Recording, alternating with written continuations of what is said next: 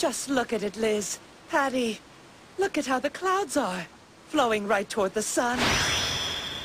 It's so beautiful. Even the sky is symmetrical. This is truly amazing. Oh, how I love you, Symmetry!